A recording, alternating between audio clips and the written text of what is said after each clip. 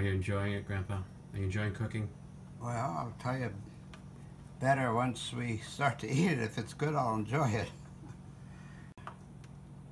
Could do this the night before and put it in the refrigerator. I'll get out of here. And uh, then just plug it in the next morning. No, no, no! Then you chop, chop, chop the green beans. Then you chop, chop, chop the green beans. You sounded just like Julia. You know, she cooked with butter and cream and she only lived to 91. Oh, wow. If she hadn't used butter and cream, she probably would have lived to 92.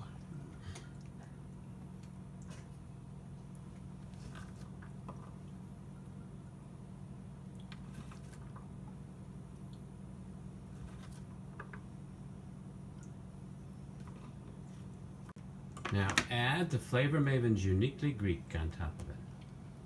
What's this one? Mm-hmm. Liberally. Because you've always been a liberal, right? Wow, there's a lot in here. But she measure out a certain quantity for each one. Uh, Jennifer mixes this. Honey. Yeah, so, so, uh, good. Not that kind of the kitchen attack.